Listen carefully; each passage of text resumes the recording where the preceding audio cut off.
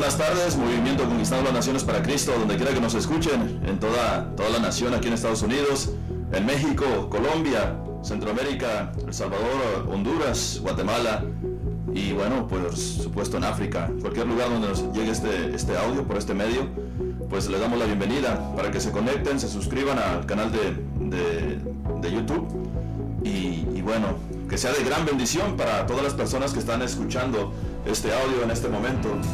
Y el día de hoy me acompaña mi hermano en Cristo, José Calderón. Le vamos a llamar Calderón porque hay muchos, muchos joséses. Y, bueno, pues bienvenido José. Estamos en la casa del Padre aquí, eh, Padre Carlos.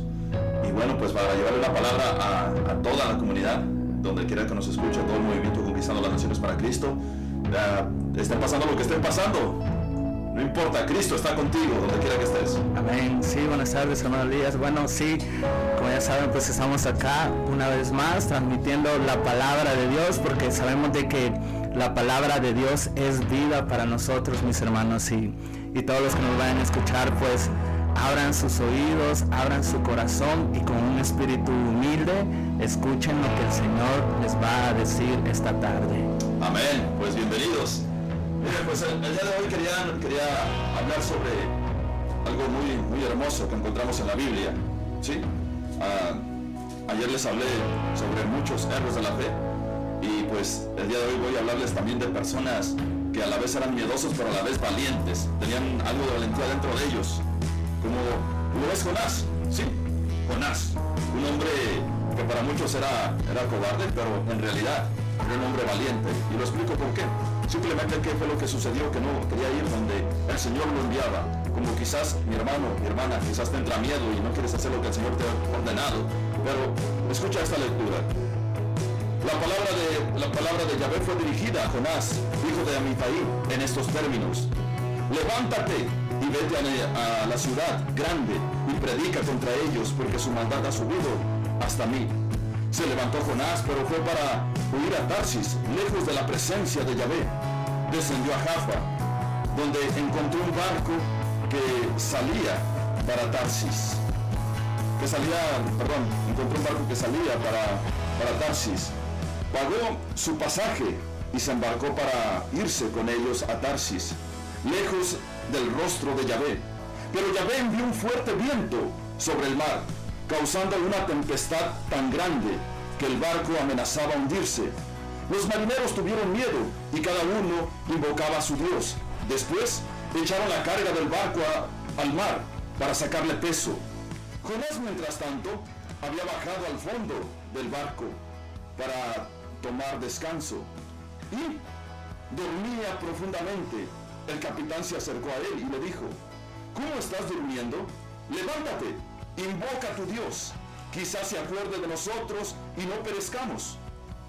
Pues después se dirigió a, unos a otros.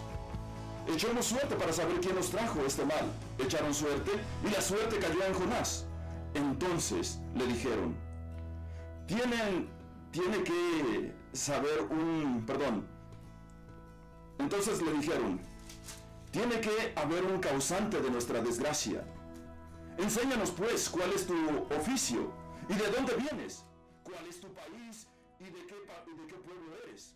Entonces empezó a decirles, soy hebreo, temo a Yahvé, Dios del cielo que hizo el mar y los continentes. Aquellos hombres tuvieron gran miedo y le dijeron, ¿qué es lo que has hecho? Pues ahora esos hombres sabían que huía de la presencia de Yahvé y le dijeron, ¿qué haremos contigo para que se calme el mar? Pues el mar se embravecía. Jonás les contestó, llévenme, arrójenme al mar, y éste se calmará, porque sé que por culpa mía les ha sobrevenido esta tempestad.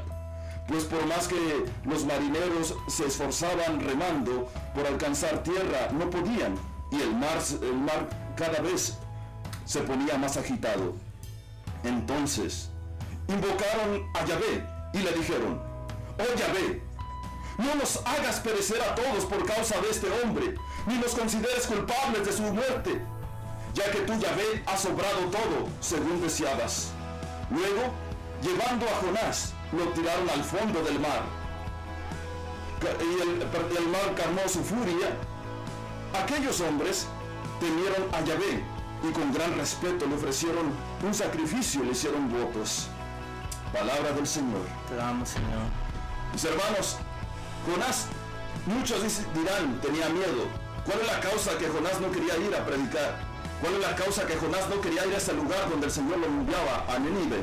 Todos conocemos la historia que si Nenive no se convertía, le pasaría lo mismo que a Sodoma y Gomorra. Sí, serían destruidos. Pero Jonás llevó el mensaje. Por 40 días estuvo predicándole a toda la gente que el Señor los mandaba que se arrepintieran. Se fue corriendo la voz de uno a uno hasta que llegó esa voz al rey. El rey hizo caso a la voz de Dios a través del profeta Jonás. Entonces, el rey dio una orden donde toda la gente se pusiera en ayuno. Y todos se pusieron en ayuno. Dice las escrituras que hasta los animales no les daban de comer, también los, los sometieron al ayuno. Dios escuchó el clamor de esa gente y perdonó a ese pueblo. Pero la causa que Jonás no quería ir a ese lugar era porque Jonás no quería que perdonaran a ese pueblo. Porque ese pueblo quizás era un pueblo de maldad. Era un pueblo causante de mucha desgracia para Israel. Pero Jonás no comprendía que cuando Dios hace llover, hace llover sobre justos, pecadores y sobre todos. Como el día de hoy, como en esta situación que está pasando la humanidad, en este momento, sobre todos, sobre ricos, sobre, sobre pobres, sobre clase media, sobre clase alta, sobre clase baja, sobre todos se está cayendo lo mismo.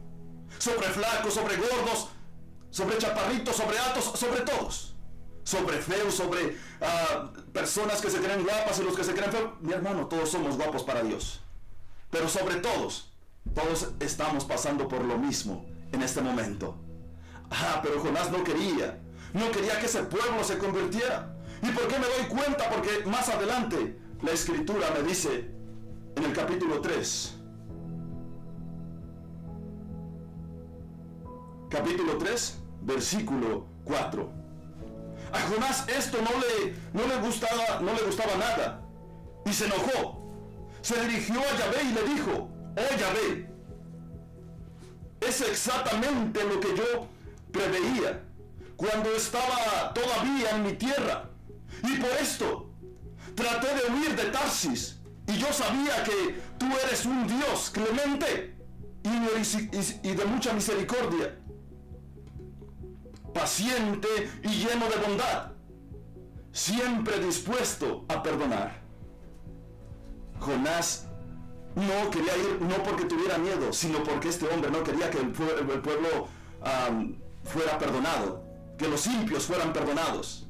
Mi hermano, la bendición de Dios cae sobre justos, sobre pecadores, sobre todos, cuando se le clama a Dios. Quizás tú te has alejado de Dios y dirás, ¿qué es lo que está pasando? Mi economía se me va al piso. Quizás muchas personas están más preocupados por eso que por salvar su alma. Quizás hay personas que les interesa más las cosas económicas que salvar su alma. Es decir, buscar a Dios en todo momento, a tiempo y a distiempo, dijo San Pablo, en todo momento buscar la presencia de Dios. Eso es a lo que Dios nos invita en todo momento. Jonás aún así se enojó, Dios le hizo crecer una calabaza, la, planta creció y al siguiente día se secó y Jonás se enojó. Y Dios le dijo, Jonás, yo puedo hacer crecer esta planta y al mismo día hacerla secar. ¿Y acaso no puedo tener misericordia con este pueblo? Y Dios tuvo misericordia de todo el pueblo. Mi hermano, cuando tú y yo buscamos a Dios, cuando el pueblo de Dios se une a buscarlo en un solo espíritu, la presencia de Dios desciende sobre cada uno de ellos. Sobre todo sobre cada persona que lo clama, que lo busca.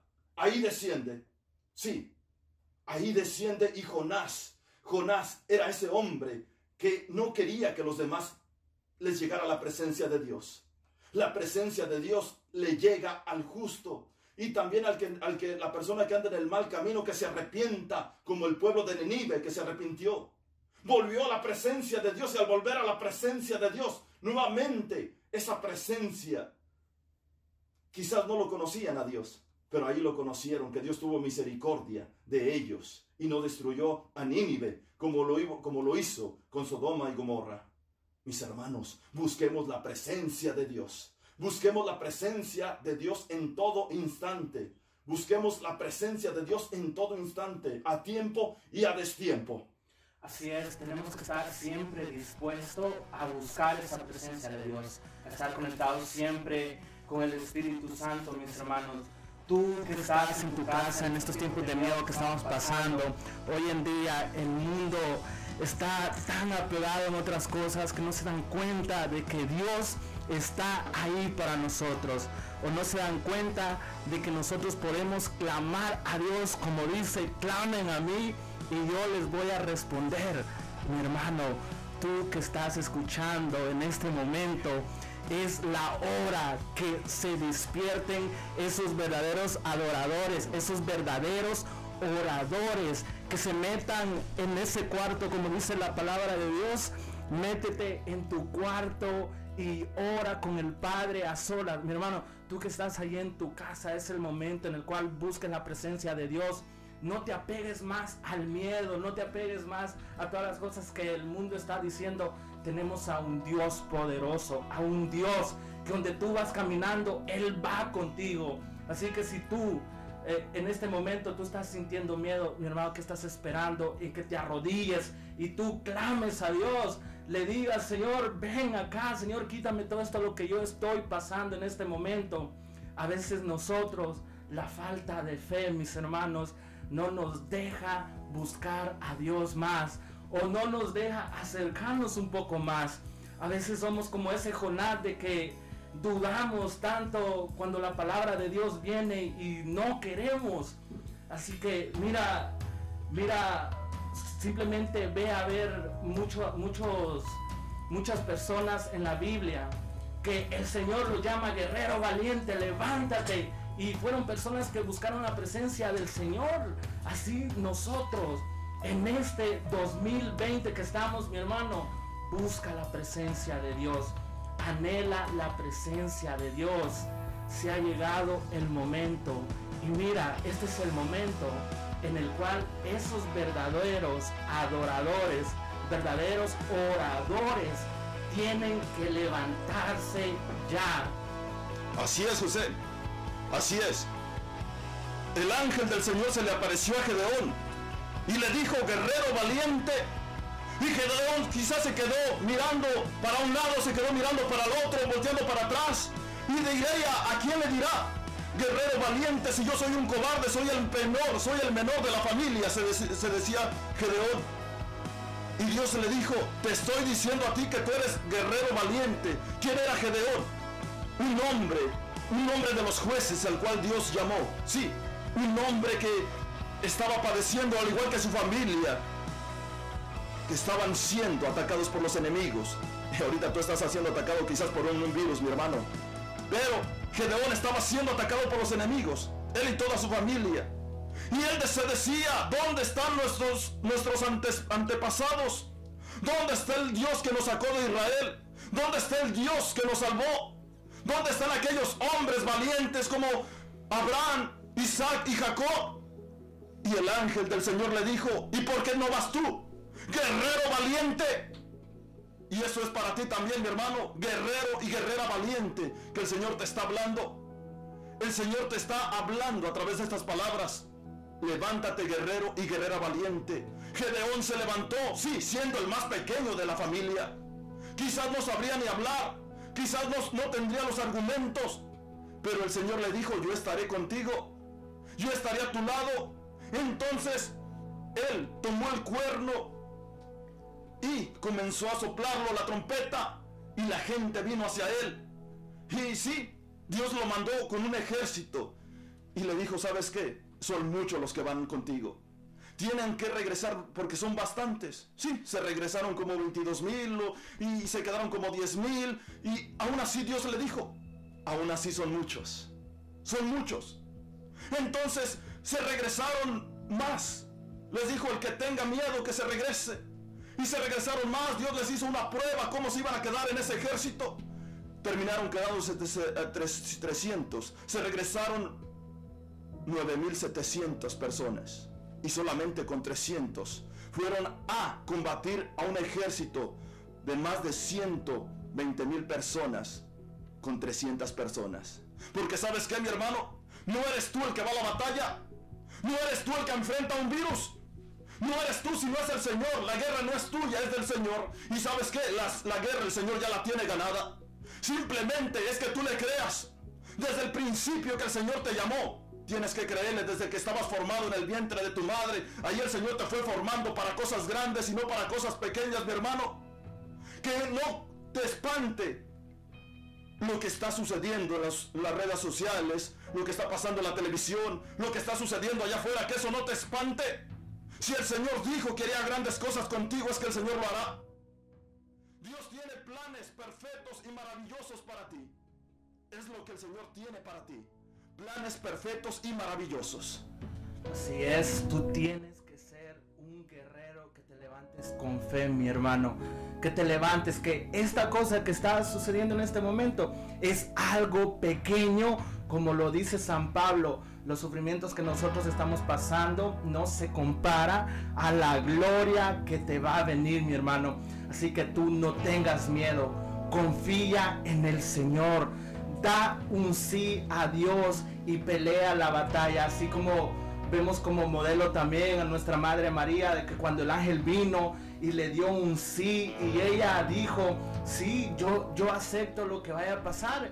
Y mira, que eh, vemos como lo que sucedió en, esa, en ese momento en la cual la Virgen María iba caminando con Jesús, cuántas cosas le vinieron, cuántas persecuciones ella tuvo que pasar. Así nosotros también. Este es el momento en el cual despertemos. No nos centremos más allá, mi hermano. No nos dejemos llevar por cosas dejémonos llevar por lo sobrenatural de Dios que viene para nosotros, que está para nosotros. Vamos caminando con el poder de Dios. Tú no vas caminando solo. Tú vas con el Señor. El pueblo de Israel, mis hermanos, cuando salió de Egipto los 40, los 40 años, iba el Señor delante de ellos guiándolos. Y mira, si vemos ahí el desierto, mi hermano, es donde pasan cosas peligrosas, que hay alacranes, que hay serpientes venenosas. Y el Señor no los dejaba que le picaran esas cosas. Ellos iban caminando con la mirada puesta en Dios.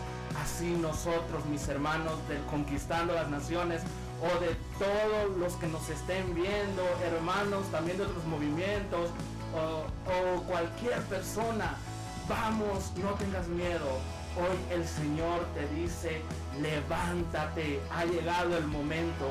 No solamente cuando esté bonito, no solamente cuando todo sea bonito, búscame, búscame en todo, en todo, cuando sientas miedo, cuando estés llorando, cuando te sientas solo, búscame, sé un guerrero valiente.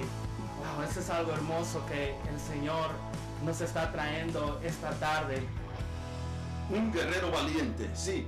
Un guerrero y una guerrera valiente, lo que Dios ha puesto en tu corazón no ha sido cualquier cosa, no. Ha sido algo grande lo que el Señor ha puesto en ti, mi hermana, desde que te había diseñado en el vientre de tu madre. David decía, el Señor me tejió desde que estaba en el embrión de mi madre. Sí, es lo que hizo contigo. Mi hermano, mi hermana, ¿a dónde iremos? Solamente tú tienes palabras de vida eterna, Señor. Solamente tú. Mis hermanos, escucha esta melodía y regresamos. Vamos a decirle a nuestro Dios que Él es nuestro todo. Aleluya. Vamos a cantar México. Mereces toda mis alabanzas.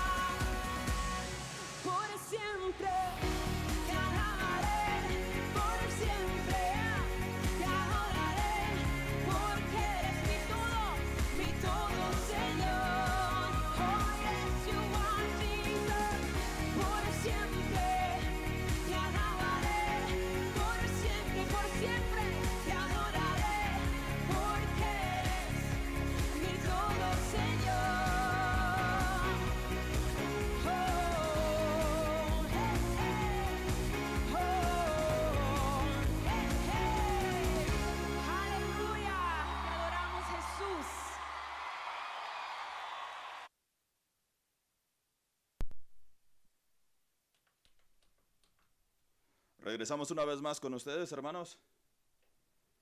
¿Se escucha ahí? Sí, perfecto.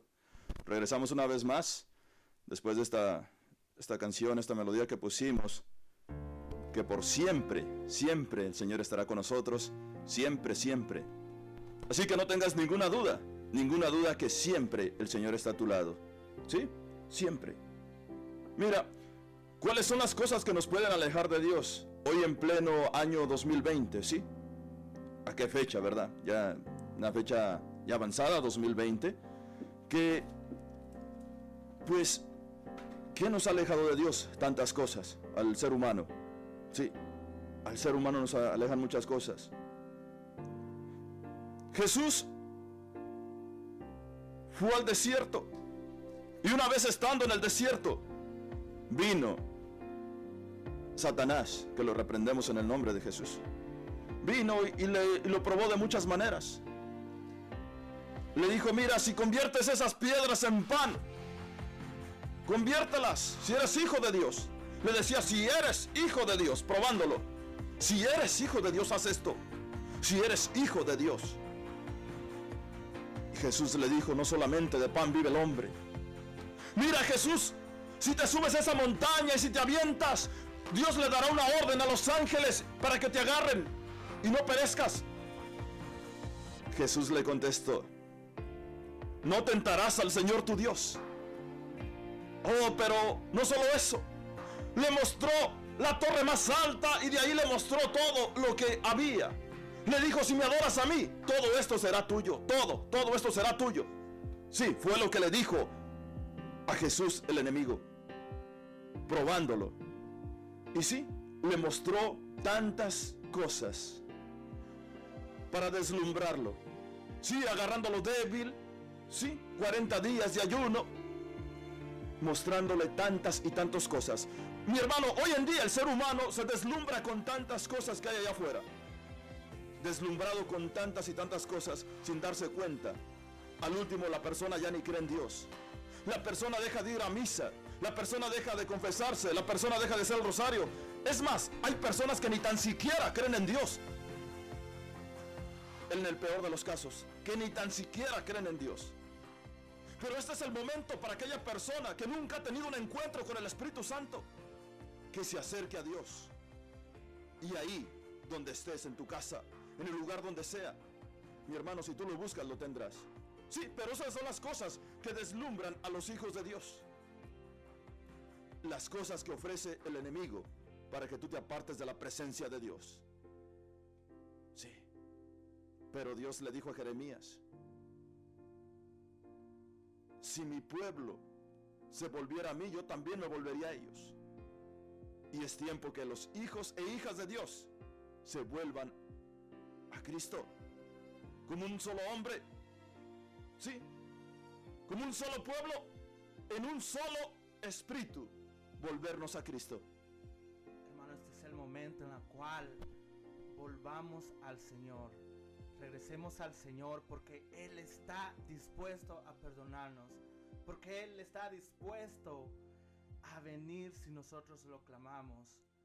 Es el momento en el cual tú, mi hermano, ya no juegues a ser católico. Tú ya no juegues a esas cosas, sino que a decirle al Señor plenamente, Señor Jesús, aquí estoy y te necesito. Señor, en este momento yo quiero clamarte, Señor, yo quiero dejar mi pecado, quiero dejar esas cosas que me apartan de ti para acercarme a ti.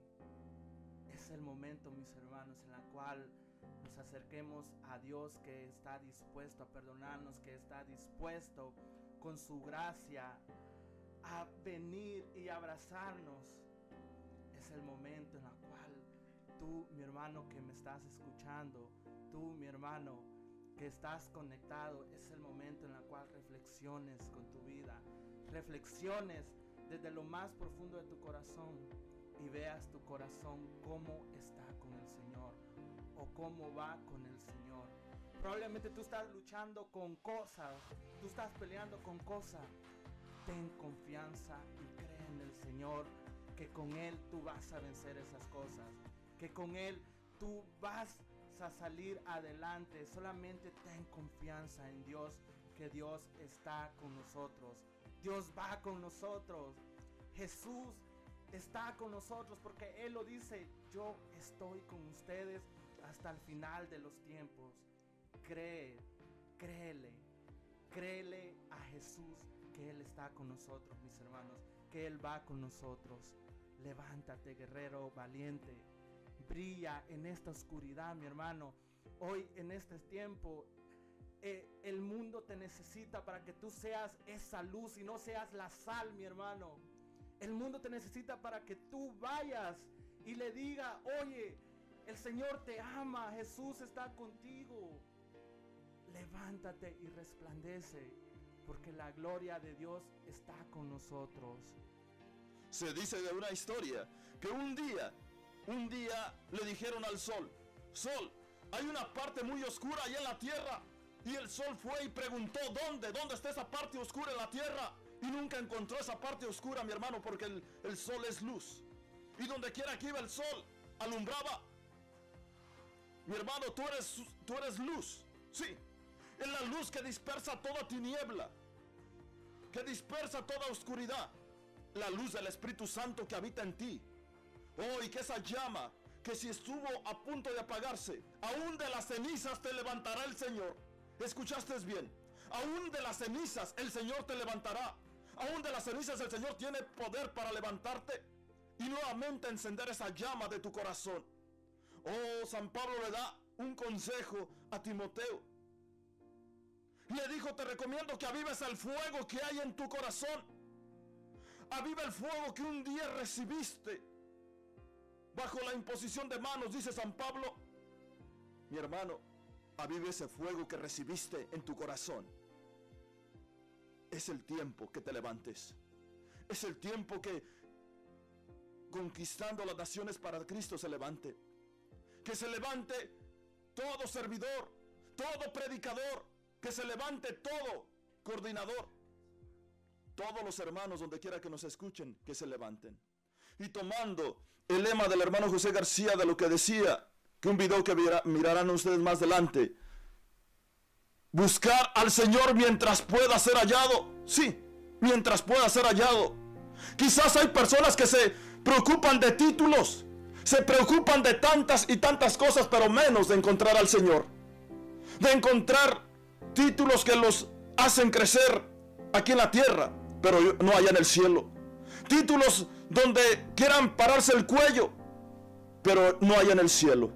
Buscar al Señor mientras se puede encontrar. Y este es el tiempo para buscarlo. ¿Qué es, mi hermano, mi hermana? ¿Qué tal si no hay tiempo para mañana? ¿Qué tal si no hay un mañana? El día es hoy.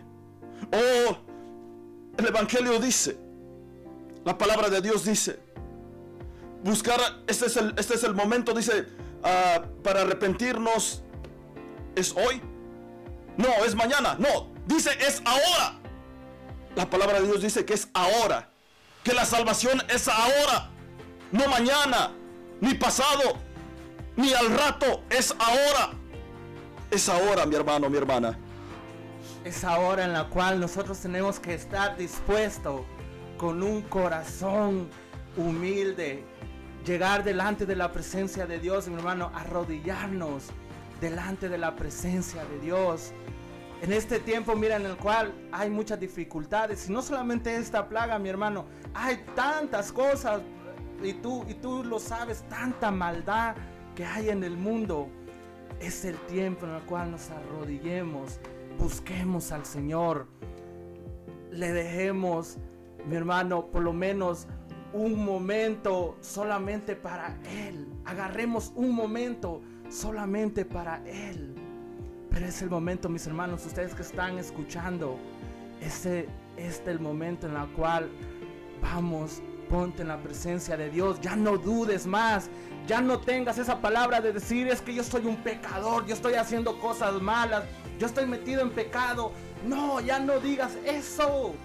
El Señor te perdona el pecado que tú hayas cometido, pero tú arrodíate, busca de Él. Y el Señor lo dice, miren Isaías, Él lo dice, aunque tu pecado sea rojo, mi hermano, Él lo hace blanco como la lana. Así que si tú te sientes indigno, si tú te sientes que, que ya, no, ya no quieres eh, buscarlo porque has cometido alguna cosa, mi hermano, no, no es, no tenemos que hacer eso. El enemigo te está diciendo, ya no lo hagas porque tú eres un indigno, pero el Señor te ha hecho digno en su muerte y resurrección. Así que ya no dudes. Ya no tengas, mi hermano, esas cosas en tu corazón diciendo de que no, yo ya no lo busco, no, yo ya cometí un pecado, no, de que ya ando haciendo otras cosas. No, no, no. Búscalo en este momento que el Señor se deja encontrar. Si fuera que solamente los dignos buscan a Dios, sería diferente. Pero no. Dios llamó a San Pablo siendo, tuvo que ver mucho en la muerte de Esteban. Sí, de hecho él cargó sus ropas o colocó su, eh, mientras los demás lo apedraban o aprobó esa muerte de Esteban. Sí, un hombre que en ese momento fue un hombre que fue digno. Dios miró su, su, su gracia, miró todo en él y Dios lo hizo digno. El Señor no ha venido a buscar a los santos, dice en su palabra. Aquellos que están enfermos, aquellos, mis hermanos, que necesitan de Dios, aquellas personas que están haciendo cosas malas, aquellas personas en la cual eh, no encuentran una salida, que están sumergidas en el pecado. El Señor ha venido por todos esos. El Señor ha venido por todos nosotros. Mi hermano que me escuchas, ya no tengas miedo de acercarte a la presencia de Dios. Ya no tengas miedo de decir, no, es que Dios me va a castigar. Mentiras, Dios no te va a castigar. Dios no, no te va a apuntar. Nosotros como hombres, sí, nosotros como personas juzgamos a otros o apuntamos a otros, pero Dios no nos va a hacer eso. Jesús, mis hermanos, si ustedes se dan cuenta en el Evangelio, Jesús comió con los pecadores. Jesús se acercó a los pecadores. No, Jesús no se vino a acercar a aquel maestro de la ley que se sabía todas las leyes de, en los tiempos de Israel o aquella persona que según era santa. No, Jesús se vino a acercar a aquella persona que estaba metida en pecado. Aquella persona, mis hermanos, que andaba haciendo cosas indebidas y el Señor los perdonó. El Señor, eh, Él les decía, oye, tu pecado está perdonado. Todas esas ofensas que tú andas haciendo es- están perdonadas. Si vemos a esta mujer, a la prostituta, ¿verdad? Cómo esa mujer se acercó a los pies de Jesús y Jesús le dijo, hija mía, tus pecados están perdonados. Levántate. Y wow, y miren, a- miren como estábamos hablando de aquellas personas que juzgan, aquellas personas que apuntan. No, empezaron a apuntar a Jesús diciendo, ¿cómo este puede perdonar pecados? ¿Cómo este, wow, puede, puede estar a la par de esa mujer que es pecadora? No, no, no. Y el Señor, miren, no le importó todo eso. ¿Por qué? Porque el Señor para eso fue mandado aquí a la tierra, para venir a decirle a los pecadores, ustedes son dignos de mi gracia, ustedes son dignos de mi presencia. Búsquenme ahora que me encuentran, sean valientes, ya no tengan miedo, yo voy con ustedes, yo estoy con ustedes. Así que mis hermanos, tú que estás conectado en este momento, es más, mira, en este momento haz un acto de fe ahí. Cierra tus ojitos y ponte tus manos en tu corazón y reflexiona. Reflexiona. Reflexiona en qué pecado, mi hermano, o con, con cuál cosa, con qué pecado tú andas luchando en este momento. Probablemente tú ya tienes ocho años de haber conocido a Dios, cinco años, un año, pero todavía andas una cosa, una espina que no has podido sacarla. O todavía andas allí eh, un pecado con el que andas luchando, peleando con ese en este momento. Reflexiona, tú que nos estás escuchando, probablemente estás sentada, estás acostada o estás haciendo eh, tu oficio o, qué sé yo. Mi hermano, en este momento solamente haz ese acto de fe. Haz ese acto de fe. Sí, haz ese acto de fe. ¿Por qué? Porque tu mente quizás ha estado ocupada con tantas cosas. Ha estado ocupado con tantas cosas tu corazón. Pero es el momento que en tu mente solamente habite la presencia de Dios. Sí, es decir, que el pensamiento que venga a tu mente solamente sea Cristo. Ahí donde estás, si estás manejando, no cierres tus ojos. Pero si estás en tu casa, ahí con tus hijos, ahí cierra tus ojos en este momento y escucha esta canción. Que tu pensamiento solamente sea el de Cristo Jesús, que venga a tu corazón.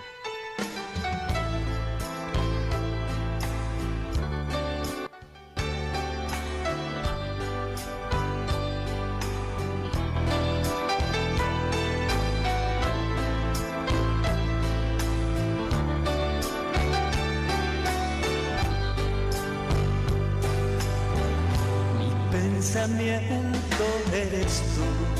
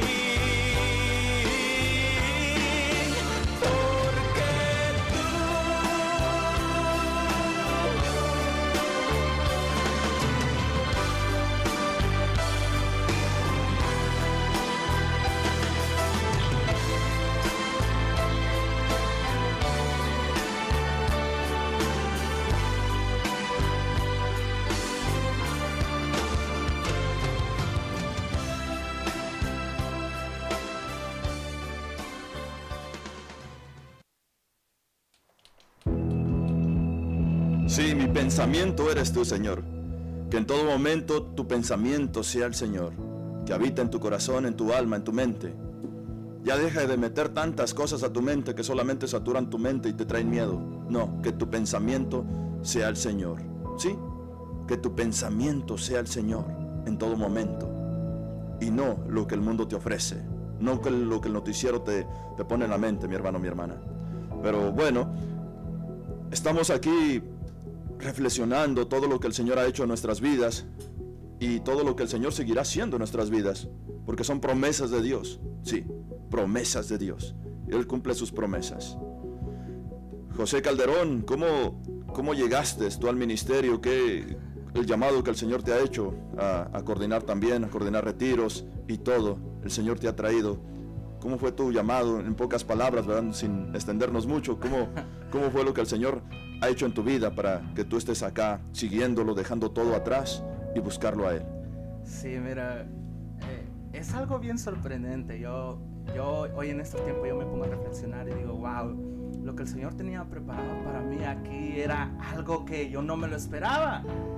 A mí eh, había una hermana de que el, el movimiento no había llegado acá, a Atlanta, y estaba allá en Houston, ¿no? Y entonces eh, esa hermana viene y me dice, eh, oye José, yo ya la conocía a ella desde hace tiempo porque pertenecíamos a otro ministerio ahí, estábamos, eh, yo estaba con los jóvenes y ella estaba en otro ministerio, pero nos habíamos hecho amigos porque nuestra conversión casi fue igual ahí, eh, del mismo, de la misma cosa, ¿verdad? Porque Sí. yo estaba en catequesis. Una conversión paralela. Ah, Sí. Ajá, entonces ella fue a vivir el retiro allá a Houston y luego viene y me dice, José, tú tienes que ir a vivir este retiro, vamos, mira, nosotros te llevamos. Ella llevó a su esposo también y me dijo, vamos, mira, nosotros te llevamos, de gratis te llevamos y todo. No, pues, pero yo como ya andaba ocupado pues en otras cosas así, yo le decía, pues ahí cuando Dios quiera yo voy a ir. Entonces, eh, pues ella, pues ya no me dijo nada más, ya no me dijo nada más, pero ella ya me había invitado ya hace tiempo y el movimiento no estaba aquí en Atlanta todavía.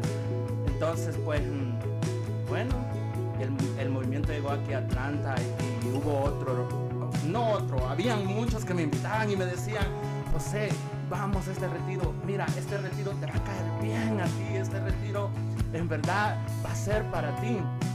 Algo sorprendente de que, de que aquí en este, en este movimiento yo vine a encontrar lo que me llenaba mi No voy a decir que en otra parte no me llenaba mi corazón, no, en otra parte del mundo yo no me llenaba mi corazón para nada. Era algo como fake, como dicen, como que no era real, pues. no era real. Entonces, cuando yo llegué a este movimiento, wow, fue algo sorprendente donde, el Señor me mostró lo que mi corazón realmente anhelaba, lo que mi corazón realmente quería hacer, porque yo llegué aquí pues así como yo iba a ir a un retiro de sacerdotes en esa misma fecha del retiro. Yo ya estaba listo ya y, el- y el padre, el rector de allá pues ah, me habla y me dice, José, se cancela el retiro. Y yo dije, no, pues ni modo, entonces ya no voy. Y vino otro hermano y me dijo, hermano, entonces como ya no va a ir allá, vámonos para este retiro. Y le dije, no, pues ya no me queda de otra, vamos. Y ya nos venimos pues al retiro ya aquí de- del y todo. Y, y no, lo que el Señor pues empezó a hacer en mí fue algo sorprendente. Nosotros a veces, aunque andemos caminando en el camino de Dios, decimos que estamos bien, pero el Señor nos muestra que todavía nos hace mucha falta a nosotros de Él, que nuestro corazón todavía no, no anda sinceramente, mejor dicho, caminando con el Señor. No anda sinceramente eh, agarrado bien de Él, porque yo antes pues, pues sí, iba a misa solo cuando se me pegaba la gana.